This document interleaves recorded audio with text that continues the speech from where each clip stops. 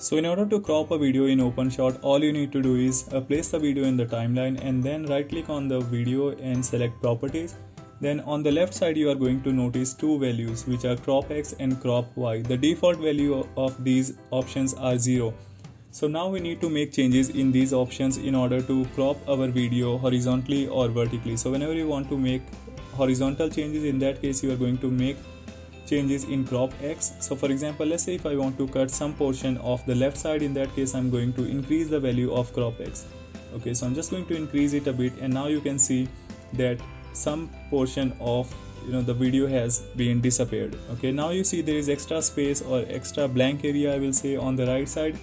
I want my video to be center aligned. So in that case all I need to do is just make changes in location X so increase the value of it and your video is going to get center aligned.